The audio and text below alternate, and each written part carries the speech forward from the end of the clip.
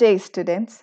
Today, let us look into the topic solar energy and measurement of solar energy using pyranometers. Now, pyranometer is an instrument that can be used to measure total radiation and diffuse radiation. Now, remember what is diffuse radiation, what is beam radiation, and what is total radiation. Beam radiation is the radiation coming directly from the sun. Diffuse radiation is the sunlight that is scattered and reflected from other parts and that is not received directly from the sun. So, if we stand in a shade, we won't be able to see the sun, but we still get sunlight. That is the scattered and reflected part of sunlight, and that is called diffuse radiation. Now, the sum of both beam radiation and diffuse radiation is called the total radiation. So, pyranometers can be used to measure total radiation and diffuse radiation, not beam radiation. Now, measurements are done using a shading ring or a set of thermopiles. Now, this is a schematic image of the working of a pyranometer. The pyranometer is basically having a thermopile set on a surface. This is the surface, and upon it, we have a thermopile. And covering the thermopile, we have a glass dome. Okay, a glass surface. It's the shape of a dome. Okay. Now, sunlight can fall directly upon this thermopile, or sunlight that is reflected by clouds and other parts of the atmosphere can fall into this thermopile. Okay, so this apparatus receives both beam radiation and diffuse radiation. Okay, so hence we can say this instrument measures total radiation. Now, to measure total radiation, the sunlight is allowed to fall on a hot junction of the thermopile and the cold junction is hidden from sunlight. So, a voltage proportional to the incident sunlight is developed, giving a measurement of total radiation. So, here in this figure, the thermopile is actually, it is uh, la layers of two different types of metals. Okay. Thermopile എന്ന് പറയുന്നത് രണ്ട് തരം മെറ്റൽസിന്റെ കുറേ layers ആണ് okay അപ്പോൾ മേലത്തെ ലെയറിൽ നമ്മൾ ആദ്യത്തെ മെറ്റൽ സെറ്റ് ചെയ്താൽ രണ്ടാ അടിയിലത്തെ ലെയറിൽ നമ്മൾ രണ്ടാമത്തെ മെറ്റൽ സെറ്റ് ചെയ്യും അപ്പോൾ ഒരു മെറ്റൽ തന്നെ എപ്പോഴും സൺലൈറ്റ് റിസീവ് ചെയ്യുന്നു താഴെയുള്ള മെറ്റൽ എപ്പോഴും ഷെയ്ഡ് ചെയ്തിരിക്കുകയാണ്. ഓക്കെ അപ്പം മേലത്തെ മെറ്റൽ എപ്പോഴും സൺലൈറ്റ് റിസീവ് ചെയ്യുമ്പോൾ അത് ഹോട്ടായിട്ട് നിൽക്കുന്നു. അതിനെ നമ്മൾ ഹോട്ട് ജംഗ്ഷൻ എന്ന് വിളിക്കും. താഴത്തെ മെറ്റൽ ലെയേഴ്സ് എപ്പോഴും ഷെയ്ഡഡ് റീജിയനിൽ ഇരിക്കുന്നതുകൊണ്ട് അത് കോൾഡ് ആയിട്ടിരിക്കുന്നു അതായത് താരതമ്യേന ചെറിയ ടെമ്പറേച്ചറിൽ ലോവർ ടെമ്പറേച്ചറിലാണ് അതുകൊണ്ട് അത് കോൾഡ് ആയിട്ടിരിക്കുന്നു നമ്മൾ പറയുന്നു. അതുകൊണ്ട് അതിന് നമ്മൾ കോൾഡ് ജംഗ്ഷൻ എന്ന് പറയും. ഓക്കെ അപ്പോൾ ഇങ്ങനെ തന്നെ തെർമോപൈലിനെ ഒരു ഹോട്ട് ജംഗ്ഷൻ കോൾഡ് ജംഗ്ഷൻ എന്ന് അങ്ങനെ വേർതിരിച്ച് പറഞ്ഞു കഴിഞ്ഞാൽ ഇവർ രണ്ട് തമ്മിലുള്ള ടെമ്പറേച്ചർ ഡിഫറൻസ് കാരണം ഒരു വോൾട്ടേജ് ഉണ്ടാകുന്നു ആ വോൾട്ടേജിനെയാണ് നമ്മൾ കറണ്ടായിട്ട് മെഷർ ചെയ്യുന്നത്. അപ്പോൾ എത്രത്തോളം സൺലൈറ്റ് വന്ന് വീഴണോ അത്രയും ടെമ്പറേച്ചർ ഡിഫറൻസ് ആണ് ഈ രണ്ട് മെറ്റൽസ് തമ്മിൽ ഉണ്ടാവുക ആ ടെമ്പറേച്ചർ ഡിഫറൻസിനനുസരിച്ചുള്ള ഒരു വോൾട്ടേജ് ഡെവലപ്പ് ചെയ്തിട്ട് അതിനെ ക്രോസ് ഒരു കറണ്ട് നമുക്ക് പ്രൊഡ്യൂസ് ചെയ്യാൻ പറ്റും. Now, to measure diffuse radiation, a shading ring is used that blocks the direct radiation. The measurement thus shows diffuse radiation only. അപ്പോൾ ഇവിടെ പറഞ്ഞത് ഫിഗറിൽ കാണാം നമുക്ക് ഫിഗറിൽ ഈ അപ്പാരസ്റ്റസിന്റെ സെന്ററിൽ ആ ചെറിയൊരു കമ്പോണന്റ് ഈ ഒരു കമ്പോണന്റിനെയാണ് നമ്മൾ പൈറാനോമീറ്റർ എന്ന് പറയുന്നത് സെന്ററിൽ സെറ്റ് ചെയ്തിരിക്കുന്ന ഈ ചെറിയൊരു കമ്പോണന്റിനെയാണ് പൈറാനോമീറ്റർ എന്ന് പറയുന്നത് അപ്പോൾ ഈ പൈറാനോമീറ്ററിന്റെ മേലെ ഇതുപോലെ വലിയൊരു ഡാർക്ക് കളറിലുള്ള ബ്ലാക്ക് കളറിലുള്ള ഒരു റിങ് സെറ്റ് ചെയ്യുകയാണെങ്കിൽ ഈ റിങ്ങിന്റെ ഷാഡോയിലാണ് പൈറാനോമീറ്റർ ഇരിക്കുന്നതെങ്കിൽ സൺലൈറ്റിന് നേരെ വന്ന് വീഴാൻ പറ്റില്ല അല്ലേ? അപ്പോൾ അതിന്റെ അർത്ഥം ഡയറക്റ്റ് റേഡിയേഷൻ അല്ലെങ്കിൽ ബീം റേഡിയേഷനെ ഈ ഇൻസ്ട്രുമെന്റിന് മെഷർ ചെയ്യാൻ പറ്റില്ല എന്നാണ്. അപ്പോൾ സൈഡിൽ നിന്നൊക്കെ വരുന്ന ഡിഫ്യൂസ് റേഡിയേഷൻ മാത്രമാണ് ഈ ഇൻസ്ട്രുമെന്റ് മെഷർ ചെയ്യുക. ഹെൻസ് നമ്മൾ പറയുന്നു ഈ മെഷർമെന്റിൽ ഡിഫ്യൂസ് റേഡിയേഷൻ മാത്രമേ ഉള്ളൂ. ഷെയ്ഡിങ് വരുന്നതുകൊണ്ട് ഡയറക്റ്റ് റേഡിയേഷനെ ബ്ലോക്ക് ചെയ്ത് വെച്ചിരിക്കുകയാണ്. Okay Now there are two types of pyranometers, and pyranometer and Yelot solarimeter. Epley pyranometer and Yelot solarimeter. Now what is an Epley pyranometer? ഇതിന്റെ പ്രിൻസിപ്പിൾ എന്ന് പറയുന്നത് temperature difference is measured using a thermopile with black and white surface അപ്പം ഇതാണ് ഒരു Eppley പൈറാനോമീറ്ററിന്റെ basic figure okay അപ്പം ഈ figure കാണുമ്പോൾ നിങ്ങൾക്ക് മനസ്സിലാവും. നടുക്ക് ഒരു സർക്കിളിൽ ഓൾട്ടർനേറ്റ് ബ്ലാക്ക് ആൻഡ് വൈറ്റ് കളേർഡിലൊരു ഒരു സർഫസ് കാണുന്നില്ലേ? ഇതാണ് ഈ ഇൻസ്ട്രുമെന്റിന്റെ സെൻസർ ഇവിടെയാണ് ടെമ്പറേച്ചറിനെ സെൻസ് ചെയ്യുന്നത്. അപ്പോൾ ഇവിടെ ചെയ്തിരിക്കുന്നത് സിൽവർ എന്ന് പറയുന്ന മെറ്റൽ ഒരേ മെറ്റൽ തന്നെ ഇങ്ങനെ ഓൾട്ടർനേറ്റ് ആയിട്ട് കളർ ചെയ്തിരിക്കുകയാണ്. ഓൾട്ടർനേറ്റ് ആയിട്ട് ബ്ലാക്ക് ആൻഡ് വൈറ്റ് കളേഴ്സ് കൊടുത്തിരിക്കുകയാണ്. ഒരേ മെറ്റൽ തന്നെ ബ്ലാക്ക് ആൻഡ് വൈറ്റ് കൊടുത്തിരിക്കുന്നു. അപ്പോൾ ഈ അപ്പാരറ്റസിനെ നമ്മൾ എന്നിട്ട് പ്രൊട്ടക്റ്റ് ചെയ്യാൻ വേണ്ടി ഇതിന് മേലെ ഒരു ഗ്ലാസ് ഡോം വെച്ചിരിക്കുന്നു. അപ്പോൾ എയർ ഒക്കെ ഭയങ്കര വിൻഡ് ഉണ്ടെങ്കിലും ടെം ആ സെൻസറിന്റെ മേലെ വരുന്ന ടെമ്പറേച്ചറിന് വലിയ വ്യത്യാസം വരില്ല. അപ്പോൾ നമ്മളിപ്പോൾ ഈ അപ്പാരറ്റസിന് വെയിലത്ത് വെക്കുകയാണെങ്കിൽ സിൽവർ തന്നെ ഒരേ മെറ്റൽ തന്നെ കളർ അനുസരിച്ച് രണ്ട് രീതിയിലാണ് ഹീറ്റ് ചെയ്യുക ബ്ലാക്ക് സർഫസിന്റെ പ്രത്യേകത എന്താ? അത് സൺലൈറ്റിനെ മുഴുവൻ അബ്സോർബ് ചെയ്യാൻ ശ്രമിക്കും. വൈറ്റ് സർഫസിന്റെ പ്രത്യേകത എന്താ? സൺലൈറ്റിനെ മുഴുവൻ റിഫ്ലക്റ്റ് ചെയ്യാൻ ശ്രമിക്കും. അപ്പോൾ ഇവിടുത്തെ ബ്ലാക്ക് കളേർഡ് സിൽവർ റീജിയൻസ് ഒക്കെ കൂടുതൽ ഹോട്ടായിട്ട് ഹോട്ട് ജംഗ്ഷനും വൈറ്റ് കളേർഡ് റീജിയൻസ് ഒക്കെ ലൈറ്റിനെ റിഫ്ലക്റ്റ് ചെയ്ത് കുറവ് ടെമ്പറേച്ചർ അതായത് കോൾഡ് ജംഗ്ഷനായിട്ട് മാറുന്നു. അങ്ങനെ ഇവർ രണ്ട് തമ്മിൽ ടെമ്പറേച്ചർ ഡിഫറൻസ് വരുമ്പോൾ ആ ടെമ്പറേച്ചർ ഡിഫറൻസിനെയാണ് നമ്മൾ വോൾട്ടേജ് ആയിട്ട് മെഷർ ചെയ്ത് കറണ്ട് പ്രൊഡ്യൂസ് ചെയ്യുന്നത്. ഓക്കെ അപ്പോൾ ഒരേ സർഫസിൽ ഒരേ മെറ്റൽ സർഫസിൽ നമ്മൾ black and white alternate colours കൊടുത്തിട്ടാണ് തെർമോപൈൽ ഉണ്ടാക്കിയിരിക്കുന്നത്. അപ്പോൾ ഇവർ ടെമ്പ് ഒരു സൺലൈറ്റിൽ വെക്കുമ്പോൾ ടെമ്പറേച്ചർ ഡിഫറൻസ് ഡെവലപ്പ് ചെയ്യുന്നു.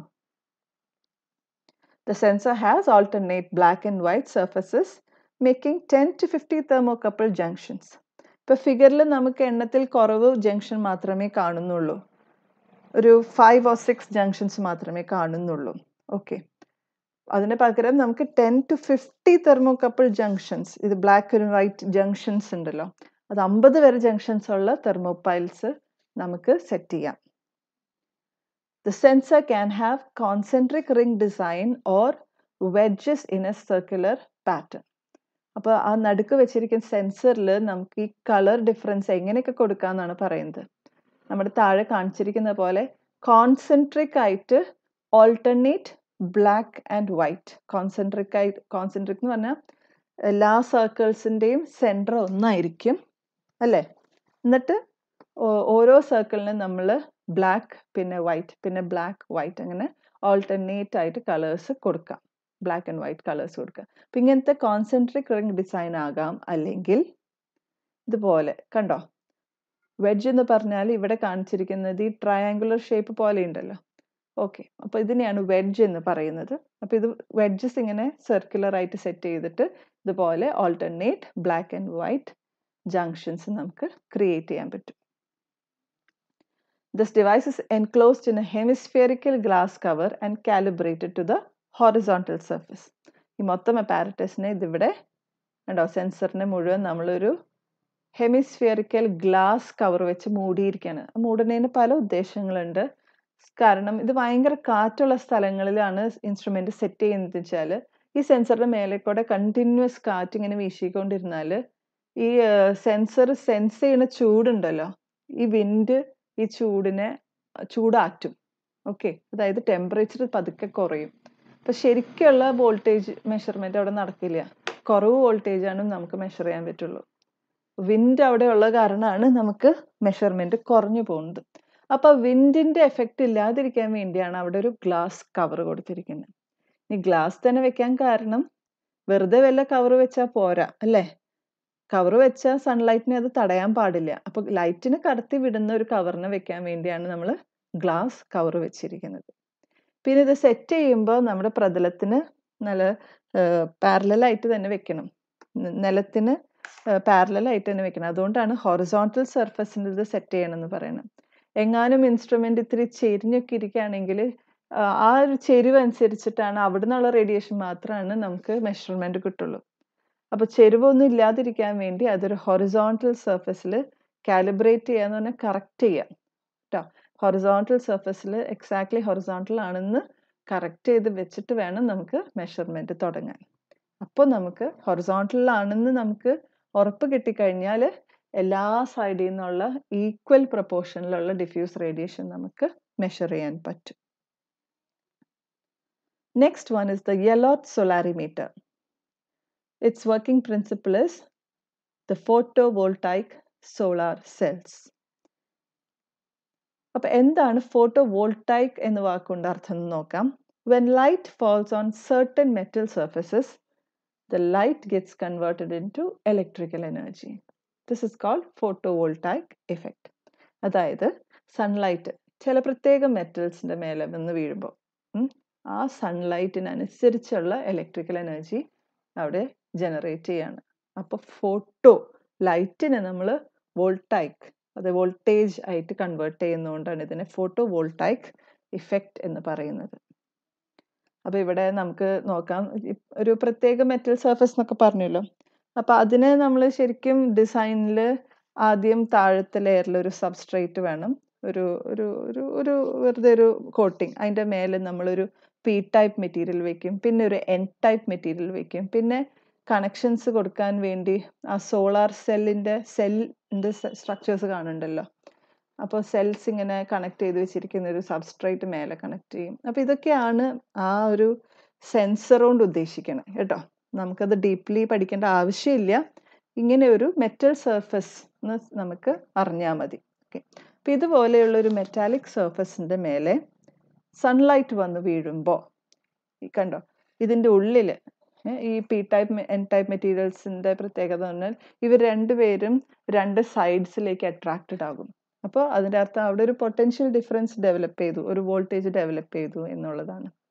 അപ്പം അങ്ങനെ ഇവിടെ വോൾട്ടേജ് ജനറേറ്റ് ചെയ്യുമ്പോൾ നമുക്ക് ഈ മെറ്റലിന്റെ അക്രോസ് രണ്ട് സൈഡുകൾ തമ്മിൽ ഒരു ഇലക്ട്രിക്കൽ കണക്ഷൻ കൊടുത്താൽ മതി അപ്പോൾ ഇലക്ട്രിക്കൽ കണക്ഷനിൽ നമ്മളൊരു ബൾബ് കൊടുത്തിട്ടുണ്ടെങ്കിൽ ആ ബൾബ് കത്തും അല്ലേ? അപ്പോൾ ഈ ഒരു മെറ്റൽ സർഫസ് സൺലൈറ്റിൽ വെക്കുകയാണെങ്കിൽ ഇതിനെ ക്രോസ് നമ്മളൊരു ബൾബ് കണക്ട് ചെയ്താൽ ബൾബിൽ കൂടെ കറണ്ട് പാസ് ചെയ്യും. ഇതിനെയാണ് നമ്മൾ ഫോട്ടോ വോൾട്ടാക് എഫക്റ്റ് എന്ന് പറയുന്നത്. Silicon solar cells use photo effect to produce electricity. Now this instrument has a disadvantage. ഈ ഇൻസ്ട്രുമെന്റിന്റെ ഡിസഡ്വാന്റേജ് എന്താണെന്ന് പറഞ്ഞാൽ spectral response is not linear അതിനർത്ഥം എന്താണെന്ന് വെച്ചാൽ ഇപ്പോൾ നമുക്ക് സൺലൈറ്റ് കിട്ടുമ്പോൾ യു വി റേസ് വരുന്നുണ്ട് വിസിബിൾ ലൈറ്റ് വരുന്നുണ്ട് ഐ ആർ റേസ് വരുന്നുണ്ട് എന്നൊക്കെയാണ് പറഞ്ഞത് അല്ലേ അപ്പോൾ U V rays visible light infrared rays ഒരേ അളവിലാണ് വരണേന്ന് നമുക്കൊന്ന് അസ്യൂം ചെയ്യാം അപ്പോൾ യു വി റേസ് ഇപ്പോൾ ഒരു അസംഷന് വേണ്ടി. ഇപ്പോൾ ഒരു one hour U V rays വന്നാൽ നമുക്ക് two units to two volt ഈ മെറ്റലിൽ പ്രൊഡ്യൂസ് ചെയ്തു എന്ന് വിചാരിക്കും. ഓക്കെ അപ്പോൾ നമ്മൾ പ്രതീക്ഷിക്കുന്നു വൺ അവർ വിസിബിൾ ലൈറ്റ് വീണാലും ഇതുപോലെ ടു വോൾട്ടേജ് പ്രൊഡ്യൂസ് ചെയ്യണം. വൺ അവർ ഇൻഫ്രാറെഡ് വീണാലും ഇവിടെ ടു വോൾട്ടേജ് പ്രൊഡ്യൂസ് ചെയ്യണമെന്ന്. പക്ഷെ അങ്ങനെയല്ല. അതാണ് ഇവിടുത്തെ വ്യത്യാസം എന്ന് പറയുന്നത്. ഇപ്പോൾ വൺ അവർ വിസിബിൾ ലൈറ്റ് വീഴാണെങ്കിൽ ഡിപ്പെൻഡിങ് അപ്പോൺ ദ മെറ്റൽ ചിലപ്പോൾ നമുക്ക് ഫൈവ് വോൾട്ട് അല്ലെങ്കിൽ ടെൻ വോൾട്ട് ഇലക്ട്രിസിറ്റി കിട്ടും. പക്ഷെ ചിലപ്പോൾ ഇൻഫ്രാറെഡ് ലൈറ്റ് വീഴുമ്പോൾ നമുക്കിപ്പോൾ ചിലപ്പോൾ ഫിഫ്റ്റീൻ വോൾട്ട് ഒക്കെ ചിലപ്പോൾ ജനറേറ്റ് ചെയ്യാൻ പറ്റും. കേട്ടോ? അപ്പോൾ ഏത് സ്പെക്ട്രം ആണോ അതിനനുസരിച്ചാണ് ഇവിടെ വോൾട്ടേജ് ഡെവലപ്പ് ചെയ്യുന്നത്. കേട്ടോ? അപ്പോൾ നമ്മൾ സൺലൈറ്റിൽ ഈ ഇൻസ്ട്രുമെന്റ് വെച്ചാൽ നമുക്ക് അവസാനം കിട്ടുന്ന റീഡിംഗ് എന്ന് പറയുന്നത് ആക്ച്വലി ഓരോ സ്പെക്ട്രത്തിന്റെയും കറക്റ്റ് പ്രൊപ്പോർഷൻ അല്ല. ഓക്കെ അപ്പോൾ ഒരു വൺ അവർ ഇൻസ്ട്രുമെന്റ് സെറ്റ് ചെയ്ത് കഴിഞ്ഞിട്ട് നമുക്ക് തേർട്ടി വോൾട്ട് ഭയങ്കര എക്സാജറേറ്റ് ചെയ്തിട്ടാണ് ഞാൻ പറയുന്നത് നമുക്കൊരു മാക്സിമം ടെൻ വോൾട്ട് കിട്ടിയെന്ന് വിചാരിക്കും. ടെൻ വോൾട്ട് കിട്ടി ജനറേറ്റ് ചെയ്യാൻ പറ്റിയാൽ ഇതിൽ കൂടുതൽ പ്രൊപ്പോർഷൻ തരുന്നത് കൂടുതൽ വോൾട്ടേജ് തരുന്നത് ചിലപ്പോൾ വിസിബിളും ഇൻഫ്രാറെഡ് ലൈറ്റ് ആയിരിക്കും. അൾട്രാ വയലറ്റ് ലൈറ്റ് യൂഷ്വലി കുറവ് വോൾട്ടേജ് ആണ് ജനറേറ്റ് ചെയ്യുള്ളൂ. ഓക്കെ. അപ്പോൾ ഇതിനെയാണ് നമ്മൾ spectral response is not linear ഒരേപോലെ അല്ല റെസ്പോൺസ് വരണേന്നുള്ളത് കൊണ്ട് സൂചിപ്പിച്ചത്. Now next we have an instrument that is used to measure the duration of bright sunshine in a day അതായത് ഒരു ദിവസത്തിൽ എത്രത്തോളം നേരം നല്ല ബ്രൈറ്റ് ആയിട്ട് നമുക്ക് സൺഷൈൻ കിട്ടുന്നുണ്ട് എന്ന് മെഷർ ചെയ്യാനുള്ള ഒരു ഇൻസ്ട്രുമെന്റ് ആണ് സൺഷൈൻ റെക്കോർഡർ കണ്ടോ? ഇതാണ് സൺഷൈൻ റെക്കോർഡറിന്റെ ഇമേജ് നമുക്ക് ഇതിന്റെ ഡിസൈൻ നോക്കാം. A glass sphere is placed at the centre of a bowl a card strip is placed inside the bowl the glass sphere can focus light onto the card strip അപ്പോൾ basically ഇതാ നമുക്കിവിടെ ഒരു സെന്ററിലുള്ളൊരു glass sphere ഉണ്ട്. Okay അപ്പോൾ ഈ glass ഫിയറിനെ നമുക്ക് ഈ പറയുന്ന ഒരു ബ്ലാക്ക് ബൗൾ പോലെ ഉണ്ട് അല്ലേ? അപ്പോൾ ഈ ബ്ലാക്ക് ബൗളിന്റെ സെന്ററിൽ തന്നെയാണ് ഈ ഗ്ലാസ് ഫിയർ വെച്ചിരിക്കുന്നത്. പിന്നെ ഈ ബ്ലാക്ക് ബൗളില്ലേ ബൗളിന്റെ ഉൾവശത്ത് കണ്ടോ? ഒരു പ്ലസ് സൈൻ എന്നൊക്കെ കാണുന്നില്ലേ നിങ്ങൾ ഒരു പ്ലസ് പ്ലസ് എന്ന് പറയുന്നത്. പൊസിഷൻ മാർക്ക് ചെയ്യുന്ന ഒരു സ്ട്രിപ്പാണ് ഒരു കാർഡ് സ്ട്രിപ്പാണിത് കേട്ടോ. അപ്പോൾ ഉള്ളിൽ ഒരു കാർഡ് സ്ട്രിപ്പ് ഇങ്ങനെ സെറ്റ് ചെയ്തിട്ടുണ്ട്. അപ്പോൾ ഈ ഗ്ലാസ് ഫെയറിന്റെ പ്രത്യേകത എന്ന് വെച്ചാൽ സൺലൈറ്റിൽ വെക്കുമ്പോൾ ഇത് ലൈറ്റിനെ ഫോക്കസ് ചെയ്യും. കണ്ടോ ഈ സ്പോട്ടിൽ കണ്ടോ ലൈറ്റ് ഭയങ്കര ബ്രൈറ്റ് ആയിട്ട് ഇരിക്കുന്നത് അപ്പോൾ അവിടെ സൺലൈറ്റ് വീണതിനനുസരിച്ച് അവിടേക്ക് ഫോക്കസ് ചെയ്യും. അപ്പോൾ സൺ മൂവ് ചെയ്യണതിനനുസരിച്ച് ഈ സ്പോട്ടും ഈ കാർഡിന്മേ ഇങ്ങനെ ഇങ്ങനെ ഇങ്ങനെ മൂവ് ചെയ്തുകൊണ്ടിരിക്കും. എന്നിട്ട് മൂവ് ചെയ്യുന്ന സ്ഥലത്തിൽ കൂടെ ഒക്കെ ആ കാർഡിനെ അത് ബേൺ ചെയ്യും. കണ്ടോ? ഈ റീജിയൻസിലൊക്കെ കാർഡിന് ബേൺ വന്നിട്ടുണ്ട്. Okay so when there is bright sunshine the glass sphere focuses light onto the strip so as to burn the spot As the sun moves along the sky, the burn spot also moves along the card. അപ്പം അങ്ങനത്തെ കാർഡിന്റെ ഒരു ഇമേജാണ് ഇവിടെ തന്നിരിക്കുന്നത് ഇവിടെ ശ്രദ്ധിച്ച്. ഈ ലൈനിൽ കൂടെ പോണതാണ് കണ്ടോ? ഈ പോയിന്ററിന്റെ മേലെ മേലെ കണ്ടോ ഈ ലൈൻ ഇതാണ് ബേൺ സ്പോട്ട് കൊണ്ട് ഉദ്ദേശിക്കുന്നത് ഇപ്പൊ കണ്ടോ ഇവിടെ ഇത്തിരി സ്ഥലത്ത് ബേൺ സ്പോട്ട് ഉണ്ട്. പിന്നെ കുറച്ച് സ്ഥലത്തില്ല. പിന്നെ ഇവിടെ കുറച്ച് ചെറിയ സ്പോട്ട്സ് ഉണ്ട്. പിന്നെ വലിയ ഒരു സ്പോട്ട് അല്ലേ? പിന്നെ ഒരു ഗ്യാപ്പാണ് പിന്നെ ഇവിടെ ഒരു സ്പോട്ട് പിന്നെ കുറച്ച് കുറച്ച് ഇന്റർമീഡിയറ്റ് സ്പോട്ട്സ് പിന്നെ ഇവിടെ നല്ല ബ്രൈറ്റ് സ്പോട്ട് അല്ലേ? അപ്പൊ ഇതുകൊണ്ട് അർത്ഥം എന്താണ്? ഈ സ്പോട്ടിന്റെ ഇന്റൻസിറ്റി അനുസരിച്ചാണ് സൺഷൈൻ വന്ന് വീണിരിക്കുന്നത് അപ്പോൾ ഇവിടെ ഒരു ഏർലി മോർണിംഗ് ആയിരുന്നിട്ടുണ്ടാവും. ചെറിയൊരു ഇന്റൻസിറ്റിയിൽ ലൈറ്റ് വന്ന് വീണിട്ടുള്ളൂ. പിന്നെ ചിലപ്പോൾ ക്ലൗഡ്സ് വന്നിട്ടുണ്ടാവും. അപ്പോൾ ഇവിടെ സ്പോട്ട് ഇല്ല സൺഷൈൻ ഇല്ല. പിന്നെ പതുക്കെ ക്ലൗഡ് കവർ മാറി നല്ല സൺഷൈൻ ഒക്കെ ആയി. അപ്പോൾ വീണ്ടും സ്പോട്ട് നല്ല വെയിലായപ്പോൾ നല്ലൊരു ബ്രൈറ്റ് സ്പോട്ട് കിട്ടി. പിന്നെ വീണ്ടും ക്ലൗഡ് കവർ വന്നു. അപ്പോൾ സൺഷൈൻ ഇല്ല. അപ്പോൾ ഇവിടെ ബേൺ സ്പോട്ട് ഇല്ല. പിന്നെ പതുക്കെ പതുക്കെ ക്ലൗഡ് കവർ കുറഞ്ഞു കുറഞ്ഞു കുറഞ്ഞ്. ചെറിയ ക്ലൗഡ്സ് ഉള്ളൂ എങ്കിൽ അത്യാവശ്യം സൺലൈറ്റ് ഉണ്ട്. അപ്പോൾ അതനുസരിച്ച് ചെറിയ ചെറിയ സ്പോട്ട്സ് പിന്നെ ഇവിടെ എത്തിയപ്പോഴേക്കും നല്ല ഉച്ച നേരമായിട്ടുണ്ടാവും അപ്പോൾ ഇവിടെ നല്ലൊരു ബ്രൈറ്റ് സ്പോട്ട് നല്ല ലെങ്തി ബ്രൈറ്റ് സ്പോട്ട് ഇവിടെ കിട്ടിയിട്ടുണ്ട്. ഓക്കെ. അപ്പോൾ ഈ ബ്രൈറ്റ് സ്പോട്ടിന്റെ ലെങ്ത് അനുസരിച്ചിട്ടാണ് നമുക്ക് ബ്രൈറ്റ് സ്പോട്ട് എന്ന് ഉദ്ദേശിച്ചത് burn spot. Okay. The length of the burn space is proportional to duration of sunshine. Okay അപ്പോൾ ഇത്രയും രീതികളിലാണ് നമ്മുടെ സൺഷൈനിനെ നമ്മൾ മെഷർ ചെയ്യുന്നത്. ഓക്കെ അപ്പോൾ മെഷർമെന്റ്സ് നമ്മൾ ഉപയോഗിക്കുന്ന ഇൻസ്ട്രുമെന്റ്സ് പൈറീലിയോമീറ്റേഴ്സ് ആൻഡ് പൈറാനോമീറ്റേഴ്സ് ആണ്. അതായത് സൺലൈറ്റിനെ ശരിക്കും മെഷർ ചെയ്യാൻ വേണ്ടി. ഓക്കെ ഈ രണ്ട് ഇൻസ്ട്രുമെന്റ്സ് ആണ് യൂസ് ചെയ്യുന്നത്. അതിൽ പലതരം ഇൻസ്ട്രുമെന്റ്സ് നമ്മൾ കണ്ടിരുന്നു. പിന്നെ സൺലൈറ്റിന്റെ ഡ്യൂറേഷൻ അളവ്. അത് ഒരു ദിവസത്തിൽ അത് എത്രത്തോളം നേരം ഉണ്ടെന്ന് അളക്കാൻ വേണ്ടി ഉപയോഗിച്ച ഇൻസ്ട്രുമെന്റ് ആണ് സൺഷൈൻ റെക്കോർഡർ ഓക്കെ അപ്പോൾ ഈ പാരറ്റസുകളെ പറ്റി നമുക്ക് മനസ്സിലായി എന്ന് വിചാരിക്കുന്നു. ഇതോടുകൂടി ഇന്നത്തെ ഡിസ്കഷൻ നമുക്ക് നിർത്താം. താങ്ക്